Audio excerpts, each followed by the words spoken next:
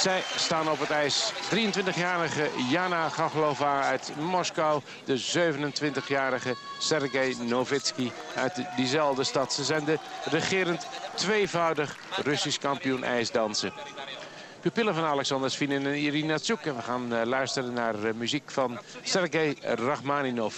Rhapsody on a Theme by, door Paganini.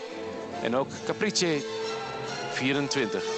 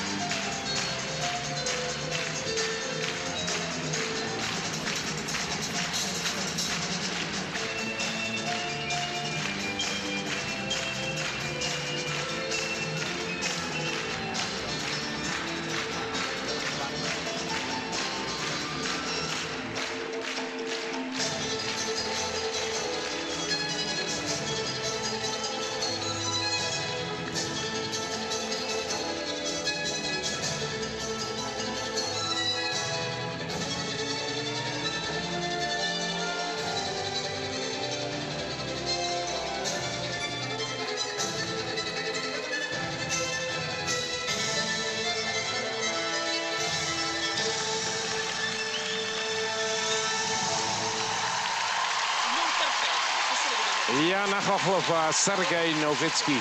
Jeroen, Europees kampioen? Ja, vast wel. Ik denk het meest complete paar van allemaal.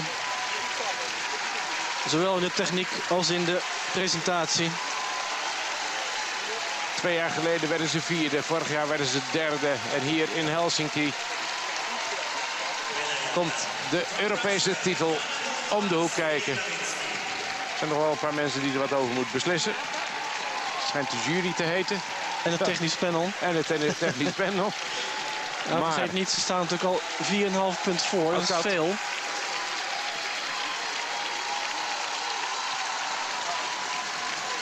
Alle Russen staan op de bank hier.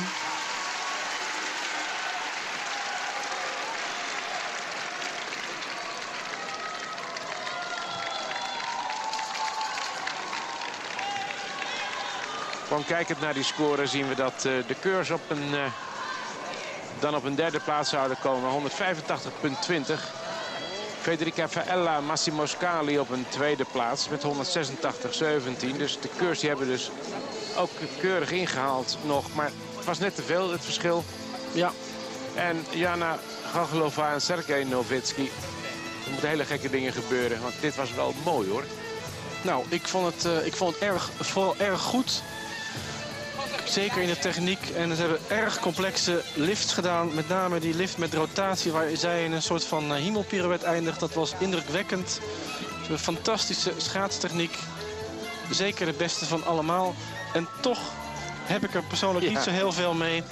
Het is allemaal perfect, maar ik, heb, ik krijg er geen brok in mijn keel van zoals ik dat van de cursus wel had. Ik kon bijna geen woord uitbrengen naar die dans. En uh, dit is gewoon uh, super. Kijk, deze lift is heel moeilijk. En ook deze.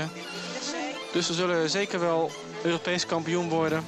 Maar als ik puur naar de twee componenten performance en interpretatie kijk... dan zou de cursus bij mij daar hoog scoren. Goed, dat is een persoonlijke mening. Gaglova en Nowitzki zullen zeker Europees kampioen worden. En dan zien we Fayelle en Scali en de Kurs op de plaatsen 2 en 3. Zo zal het vast wel gaan. Nou, dan gaan we ons nu opmaken voor uh, de punten. Wordt het, nadat ze acht jaar samen rijden, wordt het de Europese titel. Ze stonden al eerste. Eerste na de verplichte dans. Ja, eerste na de originele dans. Rijden de voorsprong uit. Eerste in de vrije dans. En lopen dus verder uit op de nummers 2. Faella en Scali. En worden daarmee Europees kampioen met 196,91.